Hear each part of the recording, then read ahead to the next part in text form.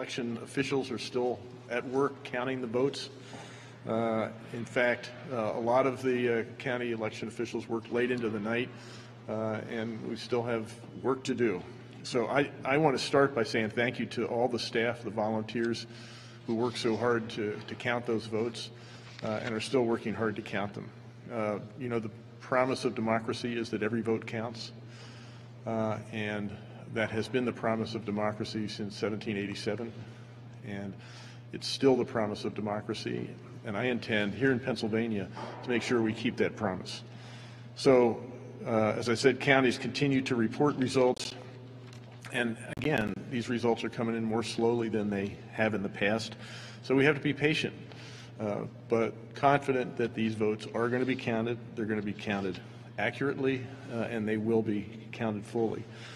Um, The delay that we're seeing is a sign that the system is. This is a new system. We went into effect with Act 77 last year, uh, and there are 3 million, uh, millions uh, of uh, uh, mail-in ballots that are being counted. And that takes longer than the, the, the the way we used to do it with the stand-in, in-person voting. So we may not know the results even today, but the most important thing is that we have accurate results. Again, even if that takes a little longer than we're used to. Make no mistake, our democracy is being tested in this election. This is a stress test of the ideals upon which this country was founded. And the basic rule of one person, one vote, that still carries, and it has to carry here. Our democracy has withstood challenges before, and for over 200 years, we have upheld and strengthened our commitment to basic fairness and due process.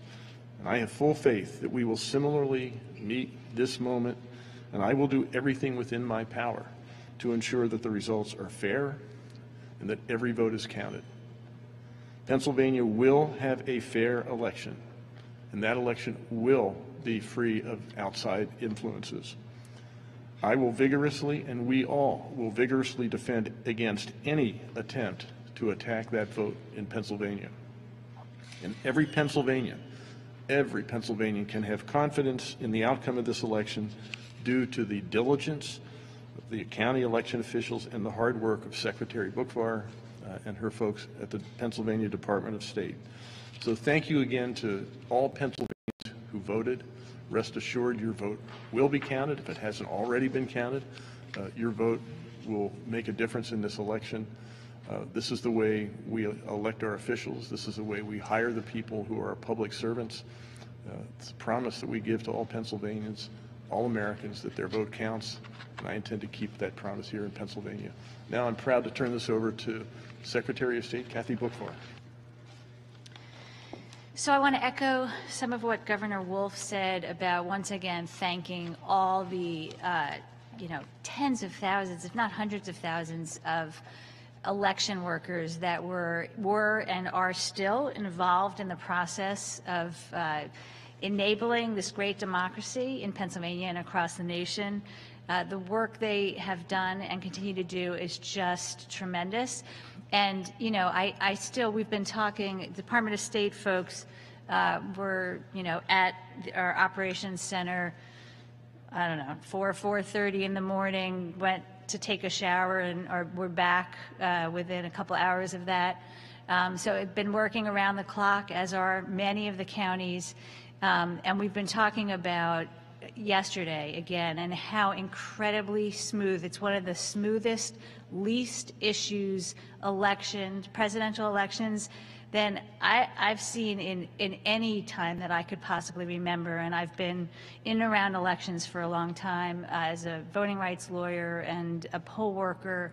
Uh, this was incredibly smooth, and that's a huge credit to all the election workers, both at the state level and at the local level and Office of Homeland Security, Department of Homeland Security, who made sure that all those things we were that people were worried about, whether it was voter intimidation or issues at the polls, really could not have gone more smoothly in the middle of a global pandemic with all the voting reform changes that we saw from Act 77 and Act 12. So that's huge kudos to everybody involved. Also, uh, we are exactly where we said we would be. So we said it was going to take some time to count the mail ballots, um, and we are we are approaching 50% of the mail ballots counted, uh, which is great. As you know, you can go to our uh, election night returns website and the supplemental dashboard to get the uh, but there are still millions of ballots left to be counted. So the counties are working incredibly hard. You're going to see a lot of updates in the next couple of hours and throughout the day. We have been, you know, a, a lot. There were a number of counties that made some major additions in the wee hours in the morning. So if you checked kind of early on this morning, you may want to check again because there's already been uh, more ballots accounted for on our dashboard.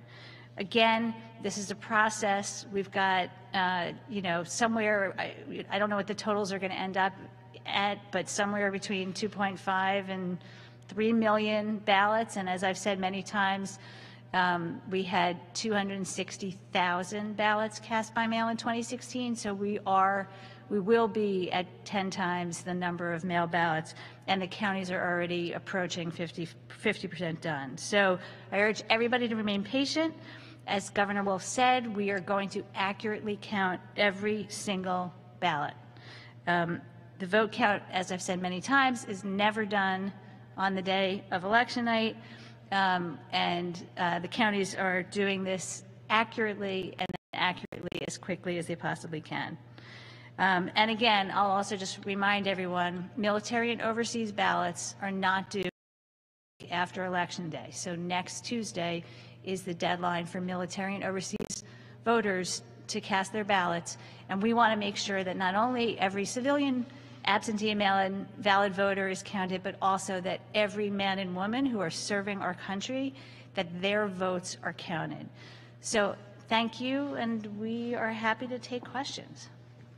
So I think, um, you know, basically what what you know that's been publicly reported, that's really all we have at this point. So, and I can't talk about active litigation, unfortunately. So, I, you know, you can, but as things are filed, of course, those will be publicly accessible.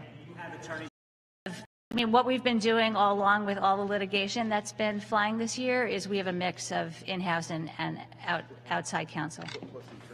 Plus, the Attorney General is also representing us in a number of these things. So there's been a great team. I have to say, the, the attorneys, I'm just going to give a shout out to the legal team in the Department of State who have been really put to work this year, and they are amazing. So Tim and Kat and team, thank you. Um, but we also have tremendous teams of outside counsel who have been involved in all of this. And as the governor said, uh, we will we will make sure that every vote is counted. Every eligible voter has the right to cast their vote. So How many counties are handling ballots that are coming in Tuesday, Thursday, Friday? How are they handling that? And is each county setting them aside? How is each county doing it? So you can go online to see our guidance, and then last night we also gave more counties, which we can forward to you. Um, it basically it lays out the process. So you're talking about the late arriving ballots. So everything's going to be segregated. I'm not sure if you were here yesterday, but um, the, the all those ballots will be segregated, but they will be counted, and the counties have been given detailed instructions, which again you could find in those guidances to walk them through how to segregate those races, those ballots had already done counting their mail-in ballots received before 8 p.m., so those are going to start sooner, but they won't be reflected on the website. They won't be like intermingled in the website as you see it now. They will be segregated. So, but it is going to vary from county to county when they start because they're working on the other ones first. How it will be reflected on the website, though? I'm unclear on that. Well, I think stay tuned on that. Yes. So on those segregated ballots, there were 500,000 ballots issued that hadn't been cast as of yesterday. Is there I'm any- sorry, can you repeat the question? Sorry, there, there were 500,000 mail ballots issued that hadn't been cast as of yesterday. Is there a way for the state to determine how many of those 500,000 people chose to vote in person instead? Or do we need to operate under the assumption that all 500,000 could come in before Friday? So all that will be trackable, but I don't, we won't have it today. So basically, between provisional ballots and the poll books, and then, of course, the mail-in ballots, uh, you know, as you all know, like only one vote can be counted for any voter. So you'll be able to see all of that, but it, it will take some time for that data to be uh, quantified. Yes, sir. Last night, I think your comment was that we didn't know how many mail-in ballots had arrived yesterday? Do we know yet how many ballots arrived yesterday? What, what is the number of ma- mail-in ballots? I, I don't have that with me this morning, but check on, check on the dashboard and that will be updated throughout the day. Yeah, sorry. Jan? Um, Representative Benninghoff keeps raising this point about how ballots may not have a, you know, a legible postmark on them and raising questions about whether or not they should be counted or not. And I was, he said it's because of the prepaid envelopes that the state provided. I was wondering if you could speak to that. Sure. So I'm not sure, he may be confusing. So anything that arrived yesterday, doesn't matter whether it's postmarked or not. Anything that arrived yesterday is a valid vote. That's what Pennsylvania law has always been, right? It needs, so talking about the late arriving ballots. So the postmark, first of all, the way we did prepaid postage in Pennsylvania is we went to the counties where they are. So if they wanted it to be through their business reply mail, uh, USPS permit, we did it that way. If they wanted to literally have us reimburse them for stamps or metered postage, we did it however they want. So some of them are not even, and I don't remember how many, but we could get you that information, how many counties are using business reply mail. But those are still postmarked. They have timing marks, they are date stamped, they are still trackable by date. So it, it's a tiny fraction of any of those things. I mean, we've all had that situation where you get a letter and it's not postmarked. It's rare, right? Same for business reply mail. They do, just, it's not accurate. They're all stamped. No mark on it. If it is one of those rare occasions, would it be counted? So under the current, under the current Pennsylvania Supreme Court decision, which is currently the law, yes, as long as it's, there's no affirmative evidence that it, it was postmarked after November 3rd, as long as it's received by November 6th at 5 PM, it will be counted. Yes. It's my understanding the state's website is showing 18 counties with 0% mail-in ballots counted. Is that accurate? Is, do you have any insight into that? So, you know, what I would suggest, sometimes counties are uploading on their own websites and haven't transmitted the file to the Department of State because, you know, they have their own local, see any, and this is what we're going to be doing throughout the day. Go to the county website. You should always do that. It's a great way to double check. But we're going to be following up with all those counties to say, hey, you know, make sure you get us the files. Um, some of them, you know, this year, because we had, for the first time, we had a website that was going to itemize the mail-in ballots from the in-person ballots from the provisionals. Some of the counties, when they uploaded the results, it merged the two types into one, and that was just, they formatted it wrong. So we're working through that to make sure that the, the actual attribution of those ballots are, are right. Notice that there's a larger than expected number of counties that have reported. Yeah, it doesn't mean that they haven't counted. It may just mean that it's just not uploaded to the Department of State website yet. So I do urge you to check the county websites and see if that's, that's available on their website. Last thing, I'm sorry, if I can just double back on something. If I heard you correctly in your introductory remarks, it was between 2.5 and 3 million mail-in ballots. Is that, and you're, and you're roughly 50%? If you could speak with as much specificity as possible regarding that, that would be helpful. Well, I think, yeah, the numbers that I gave yesterday, um, it was just under 2.6 million, as I recall. But again, I'm not sure what has additionally come in. But so as of, as of, you know, yesterday, at some point, it was just under 2.6 million that had been cast. Um, and that's when I think I said it was 83% or something like that. So we can get back to you, again, go on the website, you'll have that information available to you. I just don't have it in my fingertips today. Okay. Yes. Um, can you tell us how many mail-in ballots are outstanding on a county-by-county breakdown, or is that also on the website? It's on the website. Yep. Go to, so if you go to vote the regular ENR reporting website, it also tells